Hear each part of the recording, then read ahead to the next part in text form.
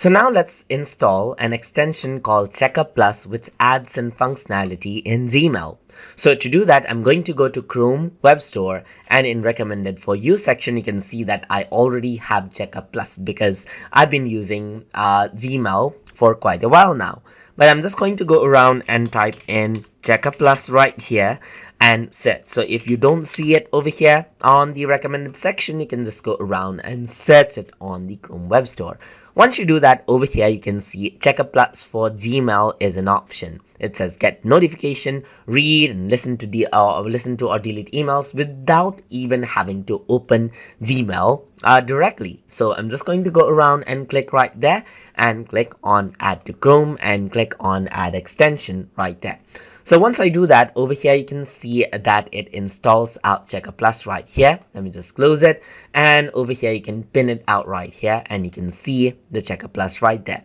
Let's say, for example, let me just go around and then uh, let's say for some of these emails, I'm just going to go around and set it as unread from here, just like this. And let me just go around and refresh it out right here. If I were to go to Checker Plus right here, you can see that it shows up my Gmail right here and I can refresh and it says that there is an unread email and it shows up right here. So even if you are not opening up email, you can easily access out Gmail by using the Checker Plus plugin right here. You can go around and mark it as read or click to view what is there in the mail without having to access the website as you can see right here you can compose out a mail and it opens up a um, Gmail window separately so you can type in your message and send it out as well as you can see.